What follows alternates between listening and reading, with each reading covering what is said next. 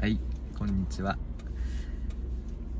今ふと またドライブ中なんですけどふと思ったのが運転しててこう交差点とかで止まってる時間って多分長いと思うんですけどそういう時にトラックの柄って見てると面白いなと思うんですよね。ああトラックうん。ね結構いろんな柄があって本当に派手なものは派手であれって見てるだけで面白いなと思ったり。デコトラっていうのがあるね。ああ面白いね。やっぱだからそういうなんだろうやっぱドライブとか無限の楽しさがあるよね。無限のも楽しう本当に。あれこれ右折でいいんだよな。そう。あの僕本当だからスピードも出さないしあとまあマニュアル乗ってるってのも大きいかもしれないんですけどマニュアルは本当楽しいね。いや楽しい楽しい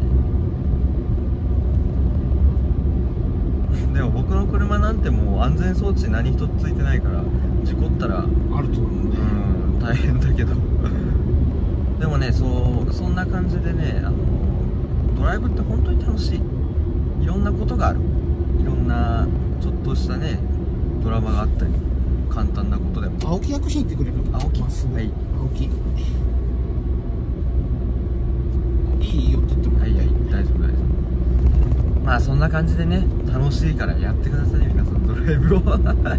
ミッションを？そうミッション。マニュアルを。乗るだけじゃなく？マニュアル乗って。そう。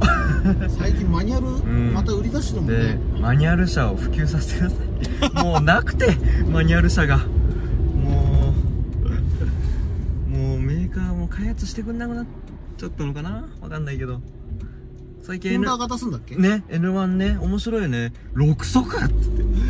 6速なんだ。K で6速っつって6速出すんだ。知らないけどよく。うん。面白いねって。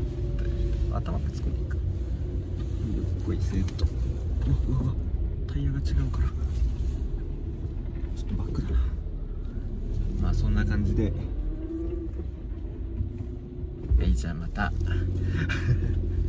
さようなら。はい